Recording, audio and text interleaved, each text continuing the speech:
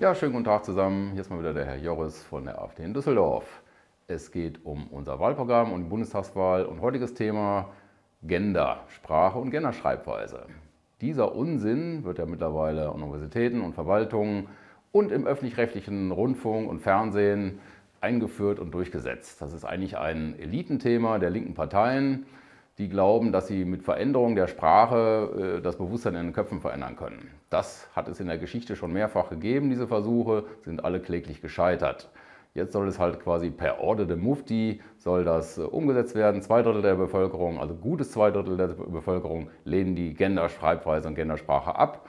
Und das sind bei weitem nicht alles Leute, die äh, äh, Minderheiten diskriminieren wollen. Also ich gebe mal ein Beispiel, das habe ich auch im Stadtrat in der Rede verwendet. Wenn ich zum Bäcker gehe, dann kann das eine Bäckermeisterin oder ein Bäckermeister sein. Das ist für mich selbstverständlich, da denke ich gar nicht drüber nach.